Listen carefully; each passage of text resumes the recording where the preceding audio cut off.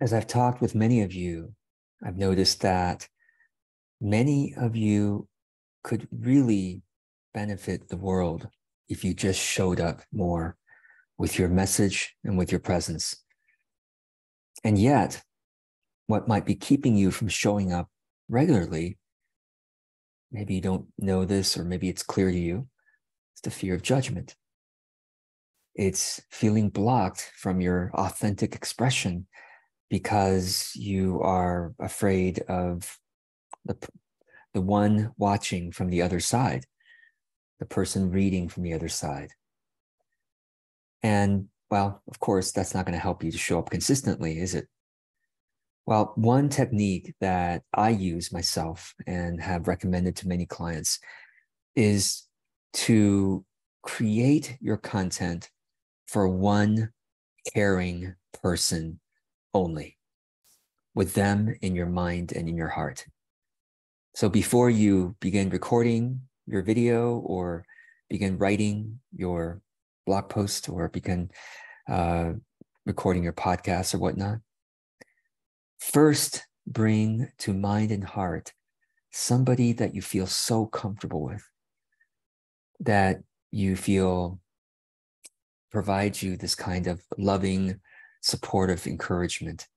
And also somebody who is really eager to hear what you have to say on this topic, on whatever topic you are creating about, or to eager to read what you have to say. And, and there's nothing that can come out of you that is a mistake for them. Everything that comes out of you is uh, a quirk that they enjoy uh, or some bit of your presence that is healing for them or uh, is is enjoyable to them.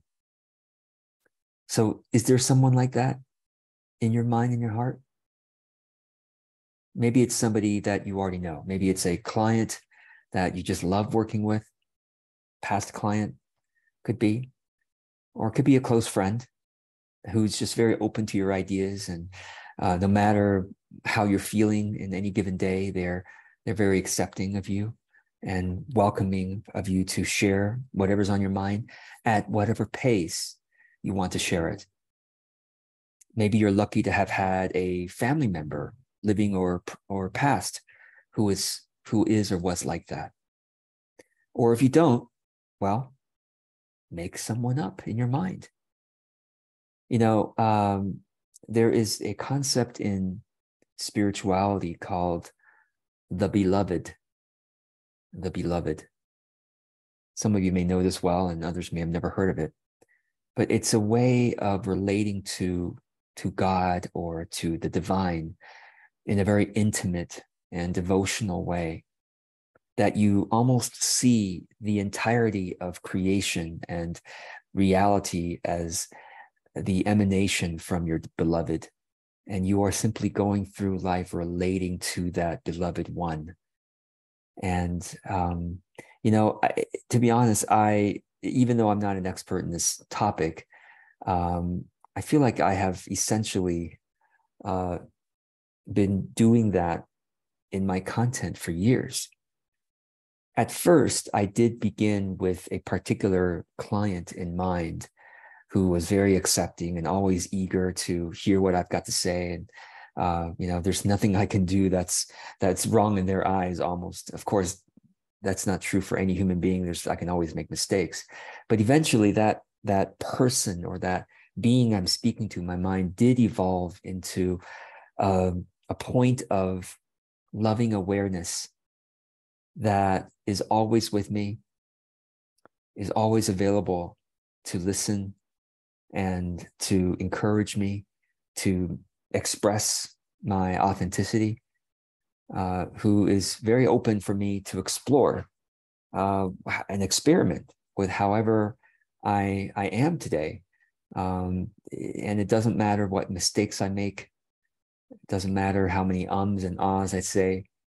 This loving awareness uh, knows me intimately and yet is also um, really uh, excited about the potential that I could become. That that is unlimited and therefore unknown.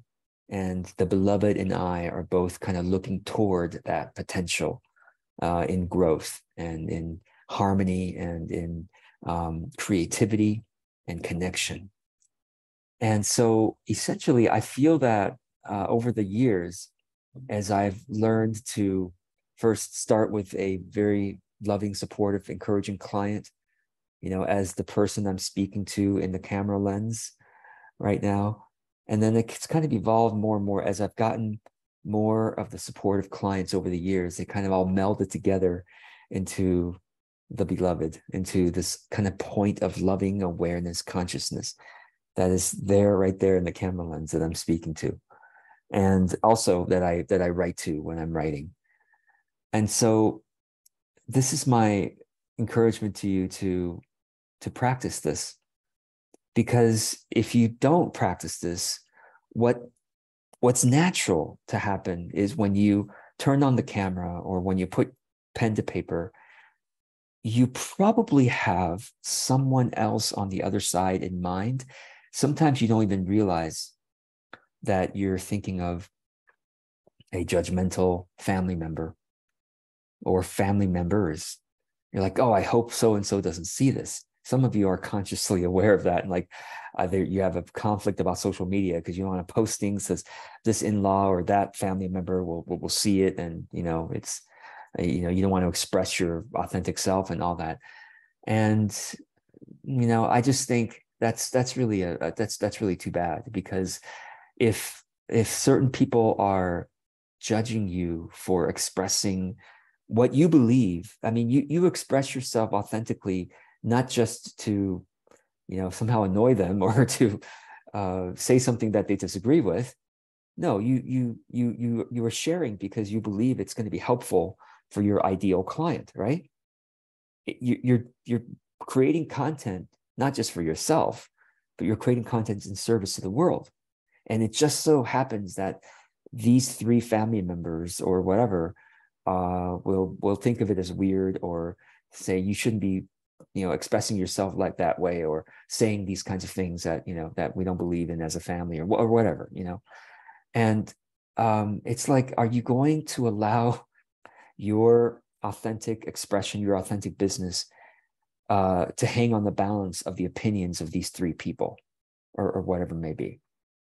That's really such a shame.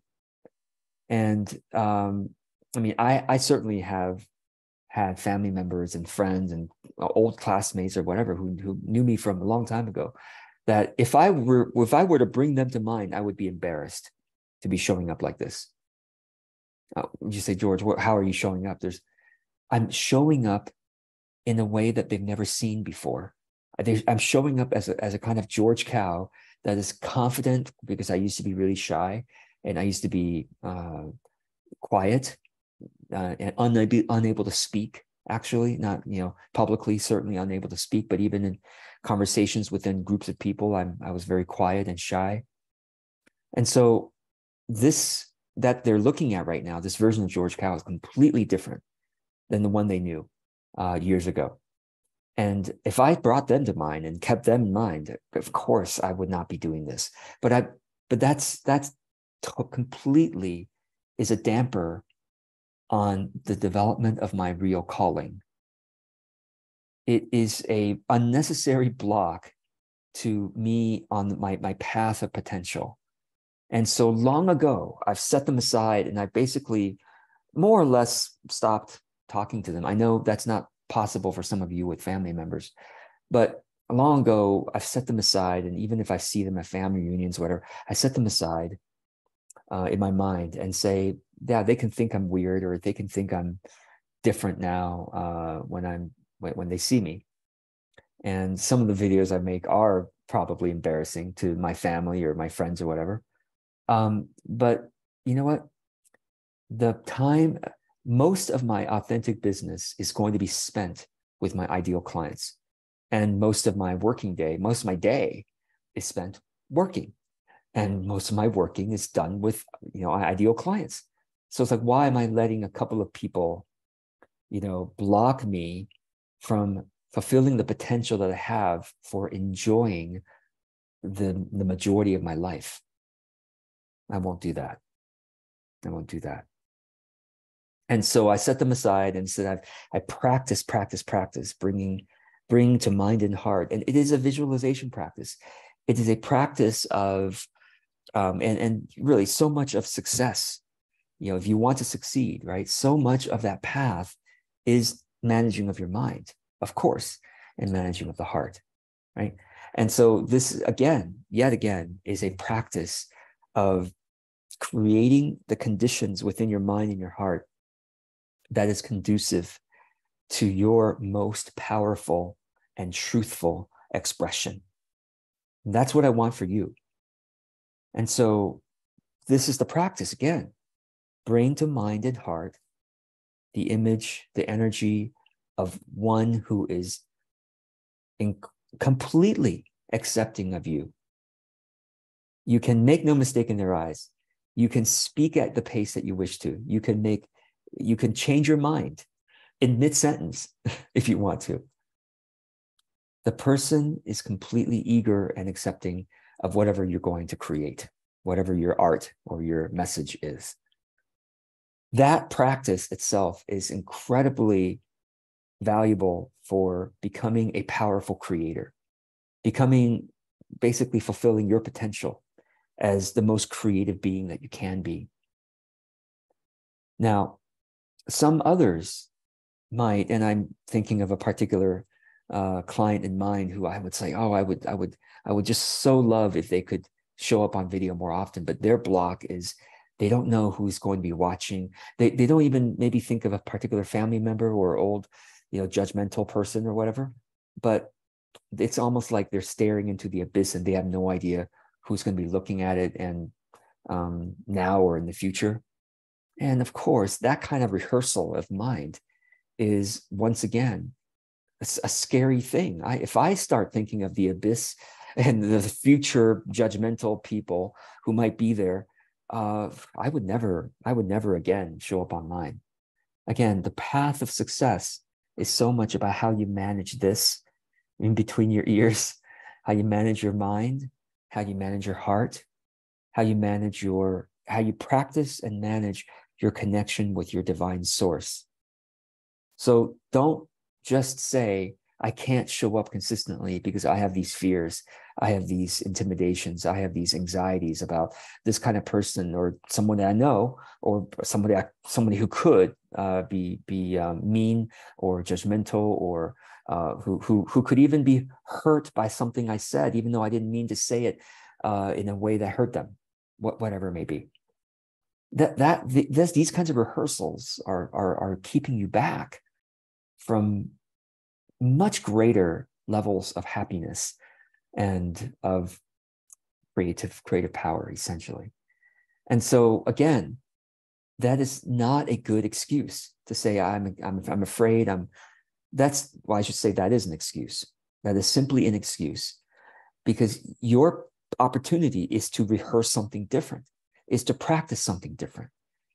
Like i said i didn't start out this way. I started out very shy and intimidated and i had to keep practicing keep practicing keep practicing visualizing the right kind of person before i was able to show up you know not be shaking and completely embarrassed uh, before the video during the video and after the video. Uh, and after many many times of practicing you know dozens of times of practicing and showing up practicing and showing up it started to being a bit more normal and of course after a few more hundred times of practicing and showing up.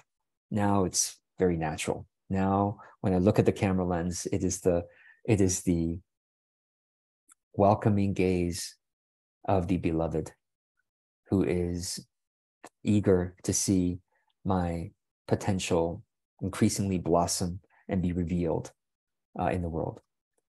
I wish that for you so much because your ideal client the the integration of all of your ideal clients is like the beloved and they're waiting for you for you to finally be willing to practice consistently showing up with with what is your energy signature to practice what is your most truthful and heartfelt and most um, alive way of being in the world in service to the world. They are waiting for you. And they, I have said this in other places, it's like this um, soulful game of hide and seek that we started playing before we joined this earth. Uh, use this as a metaphor. We all were so loving and one that we were not as individuated as we would like to be. So we came here and said, let's play hide and seek. We're all going to incarnate in different places, sometimes in different times. But then we all are waiting for you to practice your energy signature, to practice expressing yourself. Um, and with the internet, now you can reach us. And the more you can practice expressing yourself and trying out uh, the expression of, of your energy signature, and the more powerful it becomes, the more we are able to hear and see it. That ping into the universe uh, for here I am, here I am, soulmates. So I wish for you a consistent and continual showing up in dedication to the beloved. Because your beloved is waiting for you and is eager to join you on, on this great adventure of you coming into the greatest possible version of your creativity, of your business, and of your life. So, with that, get going. Get rehearsing that visualization before you create, and make sure you give yourself the consistent time to practice. I'll say one more thing and I'll end this video. I I um, I need to keep reminding you that whenever I begin these videos, I make these videos live, I don't feel like starting the video. In fact, today, as of right now, in fact, I am still recovering from a major illness I've had over the past uh, week or so. Um, I've never had it this bad with with a stomach uh, with a stomach bug, and um, I was feeling low energy today. I didn't. I was you know was feeling very I, I wasn't able to do some of the things that I, I planned to do today but i said i'm going to show up for the video i'm going to show up because i i committed to doing this every friday and no matter how low my energy you can tell my voice is lower than than usual i'm not just gesticulating as much as i usually am i'm going to show up because i promised you all that i would i mostly promised myself that i would and if I don't show up, um, uh, you know, there is never a good time to do it. I've never had perfect energy. I've never had, I've never thought through my ideas long enough before I start the video. Never, never. I can always think it through way much more. But because I have this relationship with the beloved in the camera lens, it encourages just me to show up just as I am from the heart of service that I can muster today from the dedication to my creative fitness that I can muster today. And by doing so, this time spent with that beloved is invigorating, is healing, actually. And now, after this video, I am more encouraged to go and do some of the other work that I had put off earlier today because I had to take extra naps due to my energy level. So I hope this is helpful. Thank you for joining me on this journey. I wish you a consistent uh, practice. I was going to say willingness to show up, but really it's just a consistent dedication to practice, rehearsing, creating the conditions that are conducive, to your consistent creativity. I wish you well, and thank you so much for joining me here.